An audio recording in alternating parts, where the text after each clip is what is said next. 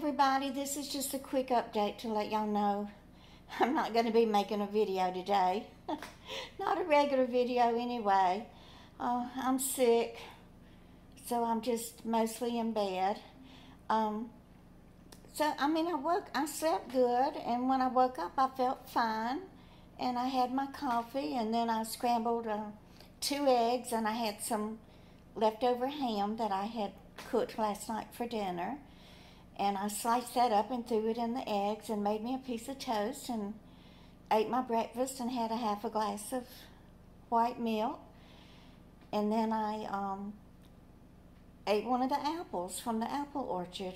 And I was fine. I, I took my regular medicine and everything. I quit taking the Prevacid or Prilosec about two weeks ago because the burning in my stomach had gone away. So after I ate, I brushed my teeth and pulled my hair back in a ponytail and got ready to go run an errand. And on the way there, I just got really sick. I just started burning. I mean, the acid reflux was horrible. It just burning in my esophagus and my throat. I felt like I had to throw up. So I thought I better go home. I, you know, something's not right. So I made it home and drank some Mylanta. And I thought I was going to have to throw up. And I kept thinking, oh, Lord, I don't want to throw up. So I just laid here in the recliner and just waited and waited and prayed. And eventually the, the burning ceased. And then I went ahead and took a Prilosec, and then I went back to bed. So that was at 11.30 this morning, and it's um, almost 3 p.m. now, and I just got out of bed. So um, I just wanted to let y'all know what's going on. I had planned to make a some type of nice video today with happiness in it, and oh, my plans changed, but that's just life, isn't it?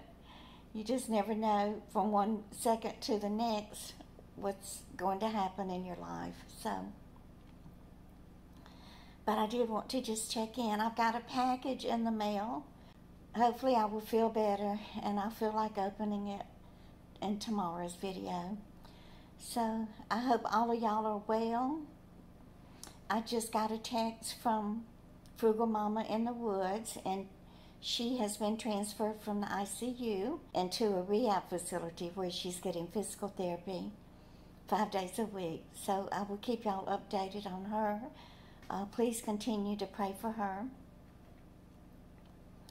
And also today is John Hodeling's birthday. So y'all please wish John a happy birthday. I asked him, what are you doing today? And he was going to church and then he was going to go to Starbucks and then out to dinner tonight. So enjoy your birthday. Happy birthday, John. So I hope y'all stay warm and stay healthy, and y'all just keep on coming back. Bye.